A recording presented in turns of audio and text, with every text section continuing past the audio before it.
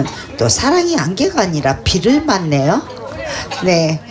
백지선의 노래입니다.